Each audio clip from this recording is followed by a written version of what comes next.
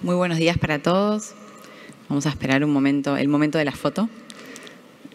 pasen, pasen, tranquilos.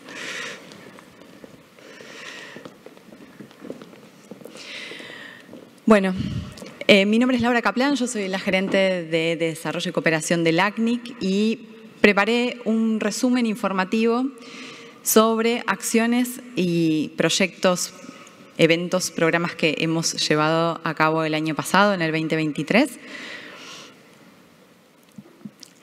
Y para empezar, bueno, quería eh, contarles este, sobre nuestros eventos. Nosotros trabajamos constantemente en, en la mejora continua de estos espacios, de estos eventos. Y nuestro propósito es mantener estos estándares de excelencia y la relevancia en las discusiones, en las capacitaciones y en todo lo que sucede durante estas dos semanas en las que nos encontramos. Prestamos mucha atención, justo como comentó Carlos, a la encuesta de satisfacción y tratamos de entender y de ir mejorando cada evento para que estos espacios realmente sean de valor para nuestra comunidad. Algunas cosas que hicimos el año pasado para, mejorar, implementamos el Zoom Eventos para incorporar el networking en la plataforma para quienes nos están viendo de manera virtual.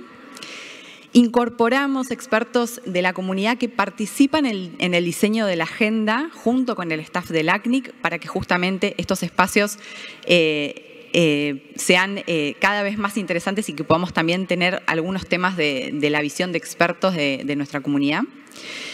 También trabajamos en profesionalizar la feria comercial, como habrán visto hemos crecido en, stands y hemos crecido también en patrocinadores que nos acompañan y que vienen a los eventos a ofrecer diferentes este, servicios, diferentes eh, equipos, bueno, este, a veces son organizaciones que vienen a contar su trabajo. También eh, seguimos trabajando en nuestro programa de becas de comunidad y ahí eh, tenemos una capacitación, un taller que hacemos antes de los eventos de marca personal y networking en redes sociales para los becados, también para que aprovechen el, evento al máximo. Y algunos de los temas eh, que discutimos el año pasado, en 2023, en los eventos, para destacar, fueron redes IPv6 only, el tema de leasing de direcciones IP, tuvimos un, panel en el evento de Fortaleza, estuvimos hablando también de temas de bloqueo, de temas de fair share, entre otros que, que bueno, han sido parte de la agenda durante 2023. Y también tuvimos algunos récords. Tuvimos este, nuestra participación presencial récord en Mérida, en, México, en el evento de mayo del año pasado. Estamos creciendo mucho en participación. Vamos a ver si este evento supera todavía este, el, récord de, Mérida. Pero también eh, en Brasil, en Fortaleza, nuestro evento de octubre, eh, tuvimos una participación muy grande de la comunidad local, un 57% de personas de, Brasil, de, esa zona este, y de ese país que estuvieron participando y es también uno de los objetivos de que nuestros eventos sean itinerantes y poder llegar a distintas comunidades. Bueno, y como les contaba antes, también estamos trabajando mucho en, los patrocinios, hemos evolucionado. Eh, el año pasado tuvimos 30 empresas patrocinadoras, 14 de ellas llegaron por primera vez a nuestros eventos. Eh, también crecimos en recaudación, eh, habíamos caído, como bueno, muchos les habrá pasado durante la pandemia, dejamos los eventos presenciales y luego este, recuperamos y, seguimos este, bueno, creciendo. Y bueno, quiero pasar a otro tema que en realidad no es este, tan distinto porque también eh, aplica a, los espacios en los que estamos juntos, en los que compartimos tanto de manera virtual como de manera presencial. Y es el año pasado este, hicimos un trabajo de ampliación del comité de ética eh, en realidad fue un proceso un poco más grande de em, mejoras al proceso del, código de conducta de la comunidad del ACNIC. Como todos ustedes saben, tenemos un código de conducta que establece cuáles son los estándares eh, eh, de, convivencia y cuáles son acciones que son inaceptables en nuestra comunidad. Y lo que hicimos fue hacer un, relevamiento, digamos, una em, una consulta pública en la cual este, bueno, incluimos algunos temas que queríamos saber este, cómo, qué pensaban las personas de la comunidad y asociados. Y bueno, recibimos un total de 172 respuestas y, las, cuestiones que planteábamos, una aceptación de más del 85%, que fueron incorporadas.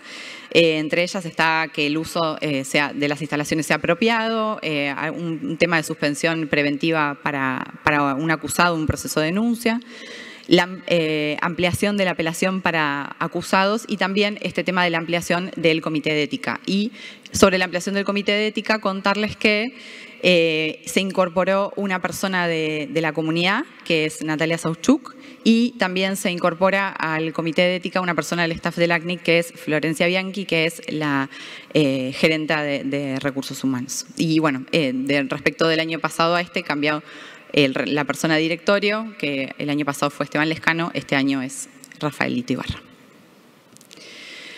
Pasamos al campus, capacitaciones. También seguimos trabajando ampliamente en el tema de las capacitaciones y el campus, bueno, como ven, ah, sigue evolucionando, sigue creciendo. Seguimos también ahí manteniendo, este, poniendo foco en mantener los estándares de excelencia y también ahí les pedimos a los que han participado en cursos que nos respondan la encuesta. Eh, y el promedio de satisfacción del año pasado fue un 95%, fue un promedio alto y estamos muy contentos de que estén contentos con los cursos del campus. Em, crecimos también en la cantidad de ediciones de los cursos que, damos en la plataforma. En el 2023 este, tuvimos 16 eh, eh, cursos en total, de los cuales dimos 25 eh, ediciones y también crecimos en la cantidad de, alumnos. Eh, ahí vemos que, tenemos alrededor de 10.000 registrados ese año y unos 7.000 este, capacitados. Otra novedad sobre el campus es que eh, sumamos tres nuevos tutores al equipo externo de referentes de la comunidad, que son tutores de nuestros cursos más avanzados. Em, nosotros eh, tenemos dos tipos de cursos, unos cursos básicos que son autogestionados y cursos avanzados que tienen tutor. Y bueno, estos tutores, este, estamos creciendo nuestra, nuestra grilla, digamos, nuestra eh, equipo de tutores em, que se desempeñan como docentes en estos cursos eh, avanzados. Em, así que bueno, estamos conformando y estamos muy contentos de, haber conformado este equipo este, tan, sólido y también tan diverso de, profesionales que nos apoyan eh, con el campus. Y último tema del campus y una de las cosas quizás más esperadas que se terminó de completar en 2023 fue una de las primeras especializaciones. En 2023 completamos la especialización en operación de redes ISP y tuvimos también las primeras insignias de, este, los eh, niveles eh, básico y el nivel intermedio. Y también tuvimos este, bastantes personas que eh, completaron el nivel avanzado ya hacia fin de año y que este año ya tienen las tres insignias y están bueno, esperando para poder rendir el examen final de certificación. Trabajamos también en investigación eh, desde hace dos años eh, tenemos un programa eh, de colaboración con universidades y con centros de investigación en la región. El año pasado renovamos tres de los acuerdos que tenemos de colaboración para continuar trabajando en desarrollar estos trabajos de investigación en conjunto con esas universidades y la CNIC. Eh, lo que hacemos es, trabajar en, el proceso de, realizar diferentes investigaciones. Nosotros aportamos apoyo técnico, aportamos, este, eh, a veces eh, hacemos contactos, este, aportamos herramientas y, bueno, trabajamos con estos investigadores en realizar eh, estas investigaciones que después, bueno, van a ver publicadas, las vamos a publicar nosotros, las publican y nosotros también les damos difusión. Y es uno de los temas en los que vamos a seguir trabajando. Y bueno, como verán ahí, el, mapa este, eh, son de diversos países, del, tratamos de cubrir diversos países de la región y también diversas temáticas eh, que son de interés para nuestra comunidad.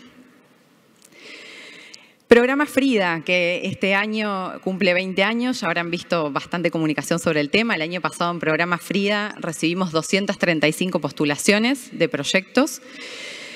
Son un montón. Eh, tenemos que hacer un trabajo muy difícil a veces de selección porque hay proyectos muy buenos que llegan a Frida.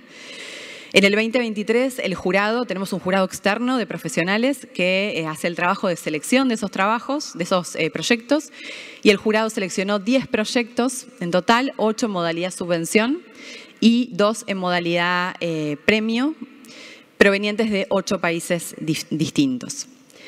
y una novedad, en el 2023 incluimos, incorporamos en FRIDA una línea de apoyo técnico no financiero porque lo que nos pasaba es que nos llegan proyectos muy buenos, que tienen una muy buena evaluación, pero que eh, como los, fondos eh, que podemos eh, nosotros dar son limitados, entonces terminan quedando fuera. Entonces lo que hicimos fue este, esta línea de apoyo no financiero que nos permitió ampliar a tener seis proyectos adicionales. En total tuvimos este,